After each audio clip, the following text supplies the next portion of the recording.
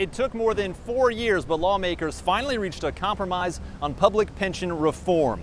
Democratic Governor Tom Wolf signing that bill into law today, written by Republicans. Republican leaders applauded Governor Wolf's willingness to negotiate, and the governor said this is a moment he's been working on since he took office. The thing that, that feels really great is that we worked across party lines and I think got a, a, a program that is fair to the workers uh, and is fair to taxpayers. And that's, that's what I wanted to achieve.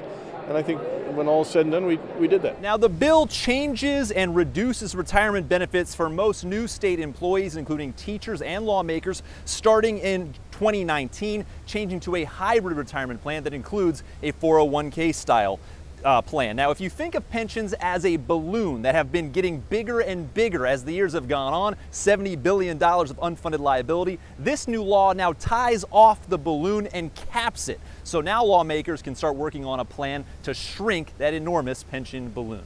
At the state capitol, Mike Straub, News 8. Attorney General